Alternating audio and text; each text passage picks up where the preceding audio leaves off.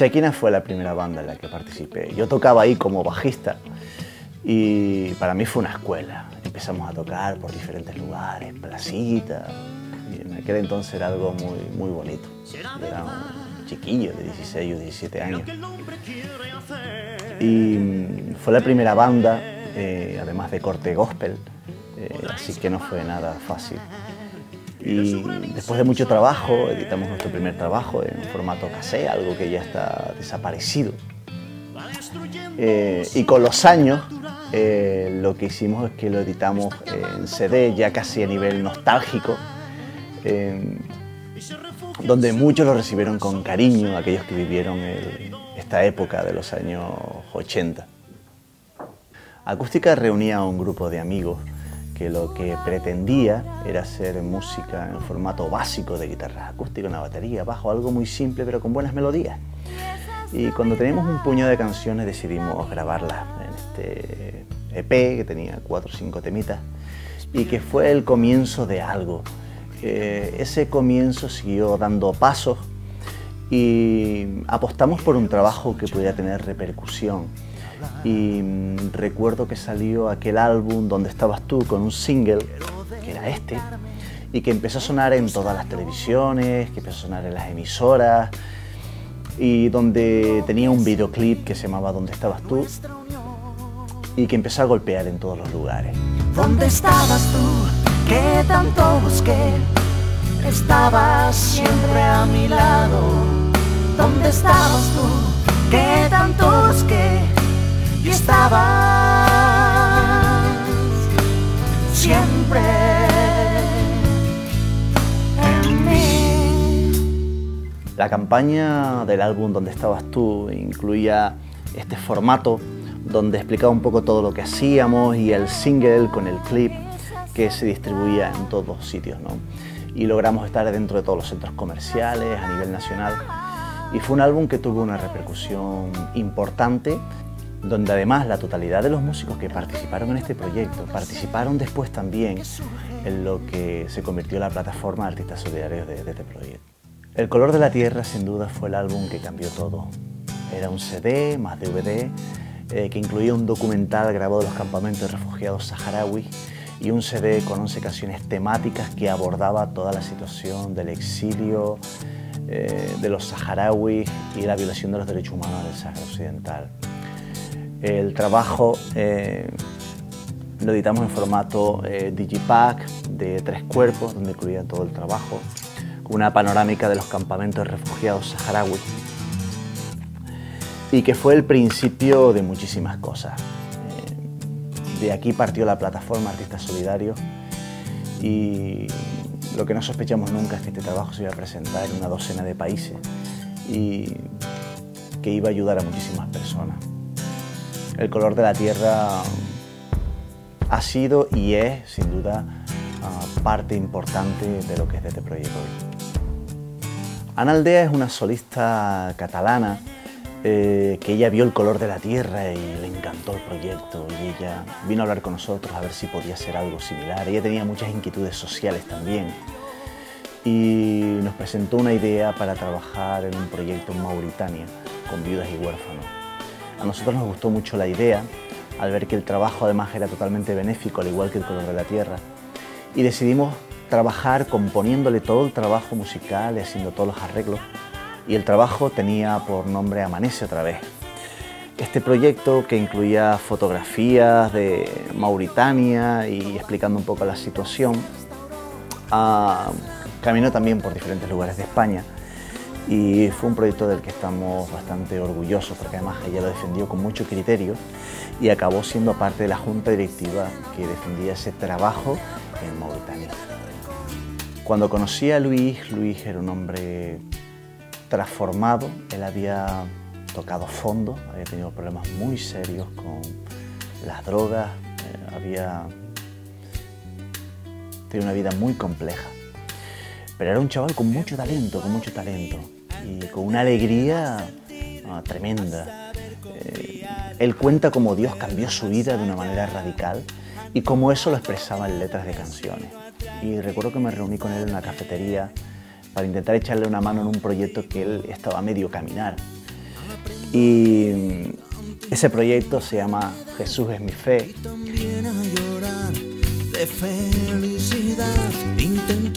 Participamos con él cantando una canción que se llamaba Estando contigo y también ayudándolo y animándolo a que este proyecto se hiciera una realidad.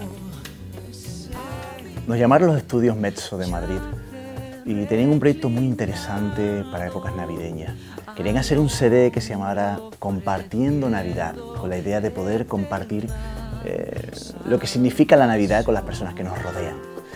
Y para ello habían eh, contactado con muchísimos artistas que iban a participar en ese proyecto donde eh, de alguna manera habían duetos, cantaban las canciones diversas personas. Y ese proyecto, que es este, He participado gente como Remedios Amaya, como Danilo Montero, Marcos Vidal, Cualo Zamorano, Esperanza de Vida, Papel Maché. Y querían que nosotros participemos dentro del proyecto, ¿no? cantando una de las canciones. Al mundo paz, el Salvador, en tierra reinará. El proyecto de una distribución nacional bastante grande y fue un proyecto que duró durante muchos años y que caminó durante varios años y la gente siempre lo pedía. ¿no? Eh, comparte Navidad, sin duda, yo creo que forma parte de, de la historia de unos discos importantes de esta fecha en, en nuestro país. Cuando nos llamaron del CEDAR, del Centro de Ancianos, para hacer un trabajo de 5 o 10 minutos que de alguna manera representara o diera a conocer lo que hacían allí, nosotros fuimos con esa idea, pero cuando empezamos a estudiar un poco por qué había surgido todo aquello, nos dimos cuenta de que se había hecho eh, para dar de alguna manera protección y seguridad a muchos ancianos que en su momento habían venido a hablar de Dios y que no tenían los mismos ideales en la época del franquismo y que eran perseguidos y que eran marginados. Y nos pareció algo precioso. Y eso se convirtió en un trabajo de media hora eh, muy emocionante, con testimonios de, los ancianos que habían allí, de personas que habían eh, estado perseguidas.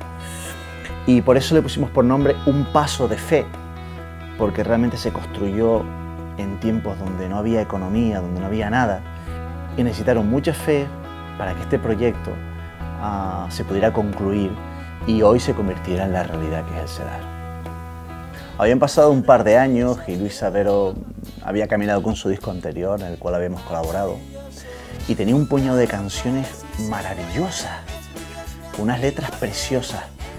Eh, y decidimos apostar y echarle una mano para que ese trabajo pudiera salir adelante. Así que participamos en la producción y además eh, de nuevo cantamos una canción con él. Eh, ese disco se llama Tengo un Dios maravilloso. Es un disco muy alegre, con muchos toques latinos y sobre todo con el carácter uh, gracioso, simpático que siempre uh, pone Luis en cada una de sus canciones. Nos planteaban ir a grabar a Liberia, un país con una complejidad enorme, una guerra civil de más de 14 años, un país totalmente desestructurado y destruido, pero donde se acercaba un buque hospital que llevaba salud y esperanza. Y hacer algo que estuviera a la altura de eso era más que un reto. Y empezamos a trabajar un equipo que reunía casi 200 personas para grabar un documental y la música eh, para contar una historia. La historia de ese sueño precioso que tuvieron un grupo de jóvenes para que ese barco hospital fuera una realidad y llevara esa esperanza a toda África. Y cuando estuvo todo acabado, eh, queríamos editarlo en un formato que mm, pudiera llamar la atención, que la gente cuando lo viera quisiera prestarle atención. Y elegimos este formato, el Digibook, donde se vean los niños con la bola al mundo. E incluye un libro de 60 páginas a todo color que cuenta toda la historia.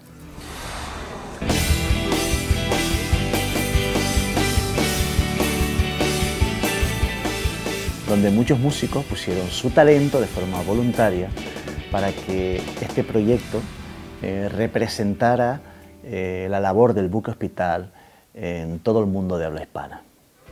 Le habían encargado al coro gospel de Madrid la canción ah, que iba a ser lema de la campaña Mi Esperanza. En esa canción eh, habían varios artistas invitados, David Bea, eh, Amos, Ana Cano y nosotros como de The Project. Recuerdo que grabamos el videoclip en una especie de castillo en Toledo, fue una experiencia estupenda. Y esa canción después se incluyó en su álbum, en este álbum que se llama Confía, y que es el nuevo álbum del coro gospel de Madrid.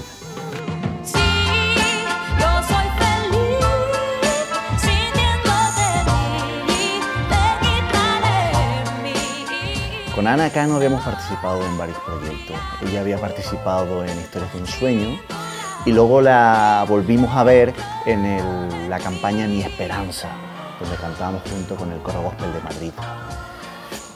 Después de eso, ah, ella viajó con nosotros para trabajar en un proyecto de compasión. Y ella estaba trabajando en su nuevo EP, un trabajo nuevo que tenía cuatro o cinco temas y quería que cantáramos con ella en uno de ellos. Y ese álbum es este, lo de tener un formato muy especial.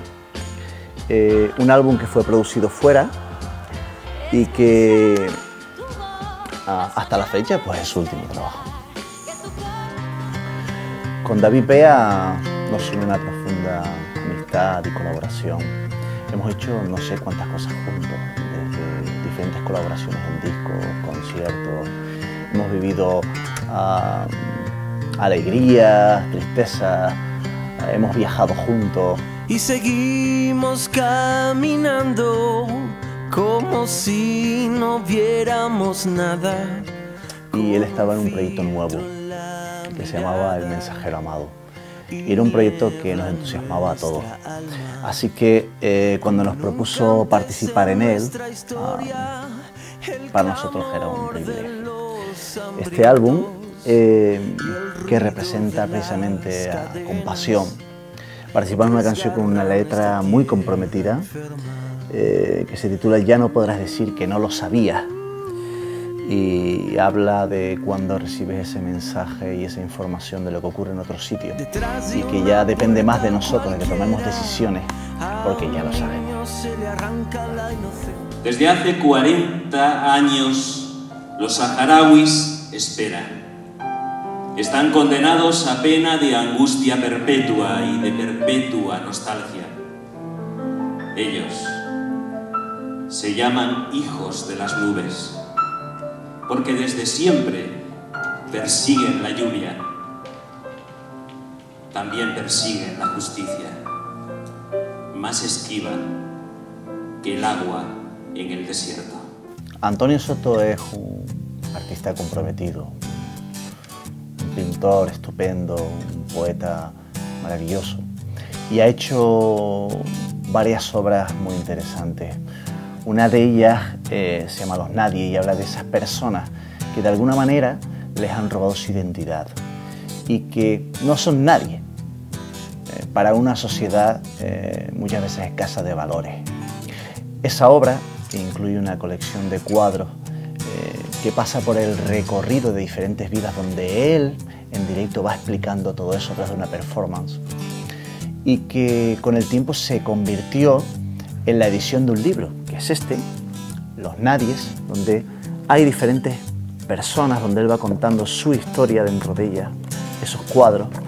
Este, por ejemplo, se llama Shirkan y es un niño soldado. Y aquí tuvimos la oportunidad de participar. Nosotros escribimos en este eh, dos personas de nuestro equipo, tanto con Shirkan como con Nadia, una chica que fue traficada sexualmente.